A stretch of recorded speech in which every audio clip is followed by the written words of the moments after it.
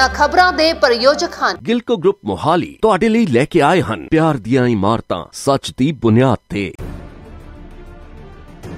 ਪੰਜਾਬ ਦੇ ਵੱਖ-ਵੱਖ ਖੇਤਰਾਂ ਵਿੱਚੋਂ ਚੋਣਾਂ ਜਿੱਤ ਕੇ ਵਿਧਾਨ ਸਭਾ ਅਤੇ ਲੋਕ ਸਭਾ ਮੈਂਬਰ ਬਣੇ ਨੇਤਾਵਾਂ ਦਾ ਉਹਨਾਂ ਦੇ ਹੀ ਹਲਕੇ ਵਿੱਚ ਰਹਿੰਦੇ ਲੋਕਾਂ ਵੱਲੋਂ ਵਿਰੋਧ ਦੀਆਂ ਖਬਰਾਂ ਅਸੀਂ ਆਮ ਸੁਣਦੇ ਰਹਿੰਦੇ ਹਾਂ। ਅਜਿਹੀ ਹੀ ਇੱਕ ਖਬਰ ਬੁੱਧਵਾਰ ਨੂੰ ਜ਼ਿਲ੍ਹਾ ਅੰਮ੍ਰਿਤਸਰ ਤੋਂ ਸਾਹਮਣੇ ਆਈ ਸੀ, ਜਿੱਥੇ ਲੋਕਾਂ ਵੱਲੋਂ ਨਵਜੋਤ ਸਿੰਘ ਸਿੱਧੂ ਦੇ ਗੁੰਮਸ਼ੁਦਗੀ ਦੇ ਪੋਸਟਰ ਲਗਾਏ ਗਏ ਸਨ ਤੇ ਉਸ ਦੀ ਸੂਚਨਾ ਦੇਣ ਵਾਲੇ ਨੂੰ ਇਨਾਮ ਦਾ ਵੀ ਐਲਾਨ ਕੀਤਾ ਗਿਆ ਸੀ। ਇਹ ਮਾਮਲਾ ਹਾਲੇ ਚਰਚਾ ਵਿੱਚ ਹੀ ਚੱਲ ਰਿਹਾ ਹੈ ਕਿ ਲੋਕ ਸਭਾ ਹਲਕਾ ਗੁਰਦਾਸਪੁਰ ਤੋਂ ਲੋਕ ਸਭਾ ਮੈਂਬਰ ਸਨੀ ਦਿਓਲ ਦੇ ਗੁੰਮਸ਼ੁਦਗੀ ਸੰਬੰਧੀ ਹਲਕੇ ਦੇ ਲੋਕਾਂ ਵੱਲੋਂ ਪੋਸਟਰ ਲਗਾਏ ਗਏ ਨੇ। ਨਾਲ ਹੀ ਉਹਨਾਂ ਵਿਰੁੱਧ ਨਾਅਰੇਬਾਜ਼ੀ ਵੀ ਕੀਤੀ ਗਈ ਹੈ। ਹਲਕਾ ਗੁਰਦਾਸਪੁਰ ਤੋਂ ਸੰਸਦ ਬਣਨ ਉਪਰੰਤ ਸਨੀ ਦਿਓਲ ਵੱਲੋਂ ਹਲਕੇ ਦੀ ਸਾਰ ਨਾ ਲੈਣ ਨੂੰ ਲੈ ਕੇ ਉਹਨਾਂ ਨੂੰ ਲੋਕਾਂ ਦੇ ਵਿਰੋਧ ਦਾ ਸਾਹਮਣਾ ਕਰਨਾ ਪੈਂਦਾ ਹੈ।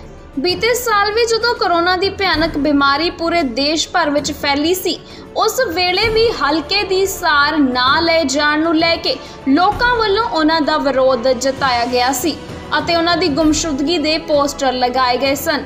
ਅੱਜ ਇੱਕ ਵਾਰ ਫਿਰ ਯੂਥ ਕਾਂਗਰਸ ਵੱਲੋਂ ਲੋਕ ਸਭਾ ਹਲਕਾ ਗੁਰਦਾਸਪੁਰ ਤੋਂ ਜਿੱਤ ਪ੍ਰਾਪਤ ਕਰਕੇ ਗੁੰਮ ਹੋਏ ਫਿਲਮ ਅਭਿਨੇਤਾ ਅਤੇ ਭਾਜਪਾ ਦੇ ਸਾਂਸਦ ਸਨੀ ਦਿਓਲ ਦੇ ਗੁੰਮਸ਼ੁਦਗੀ ਦੇ ਪੋਸਟਰ ਪਠਾਨਕੋਟ ਦੇ ਬੱਸ ਸਟੈਂਡ ਅਤੇ ਰੇਲਵੇ ਸਟੇਸ਼ਨ ਵਿੱਚ ਲੱਗਾ ਉਹਨਾਂ ਵਿਰੁੱਧ ਨਾਅਰੇਬਾਜ਼ੀ ਕੀਤੀ ਗਈ ਹੈ। ਅੱਜ ਸਾਡੀ ਯੂਥ ਕਾਂਗਰਸ ਜ਼ਿਲ੍ਹੇ ਦੀ ਸਮੁੱਚੀ ਟੀਮ ਵੱਲੋਂ ਸ਼ਹਿਰ ਦੇ ਵਿੱਚ ਸਨੀ ਦਿਓਲ ਜੋ ਕਿ ਸਾਡੇ ਸੰਸਦ ਗੁਰਦਾਸਪੁਰ ਨੇ ਉਹਨਾਂ ਦੇ ਗੁੰਮਸ਼ੁਦਾ ਦੇ ਪੋਸਟਰ ਲਗਾਏ ਗਏ ਨੇ।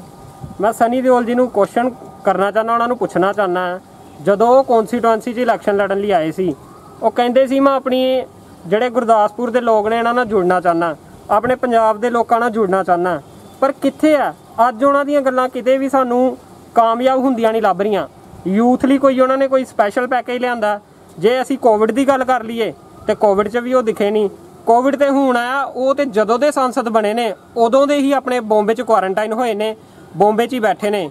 ਅਸੀਂ ਗੁੰਮਸ਼ੁਦਾ ਦੇ ਪੋਸਟਰ ਲਾਏ ਨੇ।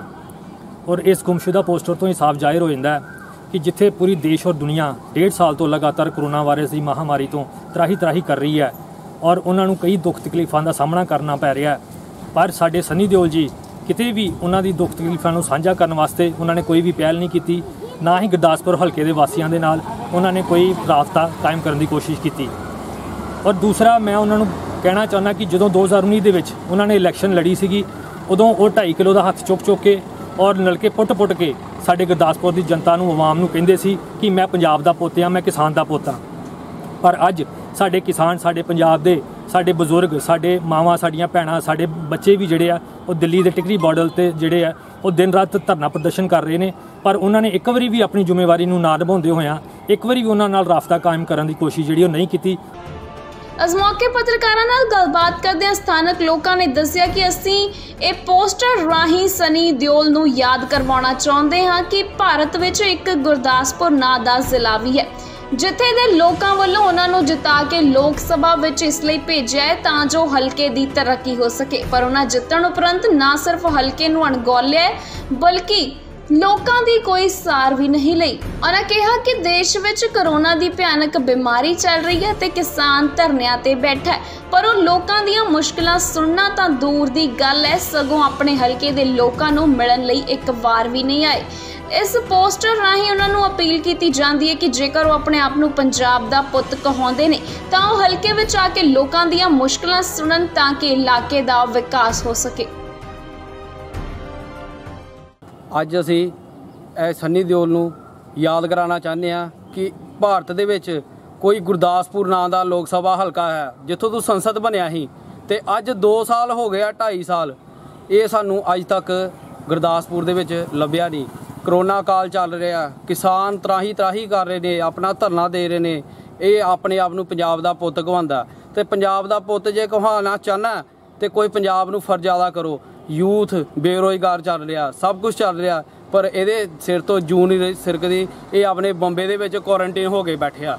ਕਰੋਨਾ ਕਾਲ ਹੈ ਤੁਸੀਂ ਆਪਣੀ ਜਨਤਾ ਦਾ ਖਿਆਲ ਕਰੋ, ਆਪਣੇ ਕੌਨਸਟੀਟੈਂਸੀ ਦੇ ਵਿੱਚ, ਆਪਣੇ ਹਲਕੇ ਦੇ ਵਿੱਚ ਆ ਕੇ ਜਨਤਾ ਦਾ ਹਾਲ ਪੁੱਛੋ ਤੇ ਬੰਬੇ ਵਾਲਿਆਂ ਨੇ ਵੋਟਾਂ ਨਹੀਂ ਦਿੱਤੀਆਂ, ਵੋਟਾਂ ਗੁਰਦਾਸਪੁਰ ਤੇ ਪਠਾਨਕੋਟ ਨੇ ਪਾਈਆਂ ਤੁਹਾਨੂੰ। ਇੱਕ ਵਾਰ ਕਿਤੇ ਆ ਕੇ ਸਾਨੂੰ ਦਰਸ਼ਨ ਦੇ ਦਿਓ, ਸਾਡੇ ਸੰਸਦ ਜੀ, ਸਾਡੇ ਲੋਕ ਸਭਾ ਗੁਰਦਾਸਪੁਰ ਤੋਂ ਸੰਸਦ ਜੀ, ਸਾਨੂੰ ਦਰਸ਼ਨ ਦੇ ਦਿਓ। ਆਪਾਂ ਤੁਹਾਡੇ ਥਾਂ ਥਾਂ ਤੇ ਪੋਸਟਰ ਲਾ ਰਹੇ ਆ ਕਿ ਕੋਈ ਵੀ ਇਹਨਾਂ ਦਾ ਸਾਨੂੰ ਪਤਾ ਦੱਸੇ ਹੈ ਕਿੱਥੇ ਨੇ, ਅਸੀਂ ਆਪ ਆ ਕੇ ਮਿਲ ਲੈਨੇ ਤੁਹਾਨੂੰ। ਕਿਤੇ ਸੇ ਇੱਕ ਪੋਸਟ ਹੀ ਪਾ ਦਿਓ, ਮੈਂ ਇਹ ਜਗ੍ਹਾ ਰਹਿਣਾ ਜਾਂ ਉਹ ਜਗ੍ਹਾ ਰਹਿਣਾ। ਤੇ ਸਾਡੇ ਜਿੰਨੇ ਵੀ ਯੂਥ ਦੇ ਵਰਕਰ ਨੇ ਉਹਨਾਂ ਨੂੰ ਸਾਰਿਆਂ ਨੂੰ ਰੋਜ਼ਗਾਰ ਦਾ ਧਿਆਨ ਦਿਓ, ਸਾਡੇ ਬਜ਼ੁਰਗਾਂ ਦਾ ਖਿਆਲ ਰੱਖੋ। ਤੁਹਾਨੂੰ ਵੀ ਵੋਟਾਂ ਪਾ ਕੇ, ਜਿਤਾ ਕੇ ਦਿੱਲੀ ਵਿੱਚ ਭੇਜਿਆ ਤੇ ਮੋਦੀ ਸਾਹਿਬ ਦੇ ਅੱਗੇ ਸਾਡੀਆਂ ਮੰਗਾਂ ਰੱਖੋ। ਜੋ ਵੀ ਸਾਡੀਆਂ ਜ਼ਰੂਰਤਾਂ ਨੇ, ਸਾਨੂੰ ਇਸ ਵੇਲੇ ਆਕਸੀਜਨ ਦੀ ਬੜੀ ਜ਼ਰੂਰਤ ਹੈ। ਸਾਨੂੰ ਆਪਣੇ ਸਿਲੰਡਰਾਂ ਦੀ ਬਹੁਤ ਜ਼ਰੂਰਤ ਹੈ। ਤੁਸੀਂ ਸਾਡੀਆਂ ਜ਼ਰੂਰਤਾਂ ਨੂੰ ਪੂਰੀਆਂ ਕਰੋ। ਪਠਾਨਕੋਟ ਤੋਂ ਪੀਬੀਸੀ ਨਿਊਜ਼ ਲਈ ਸ਼ਮੀ ਸਨੋਤਰਾ ਦੀ ਰਿਪੋਰਟ। ਇਹਨਾਂ ਖਬਰਾਂ ਦੇ ਪ੍ਰਯੋਜਕ ਹਨ। ਗਿਲਕੋ ਗਰੁੱਪ ਮੋਹਾਲੀ ਤੁਹਾਡੇ ਲਈ ਲੈ ਕੇ ਆਏ ਹਨ। ਪਿਆਰ ਦੀਆਂ ਇਮਾਰਤਾਂ, ਸੱਚ ਦੀ ਬੁਨਿਆਦ ਤੇ।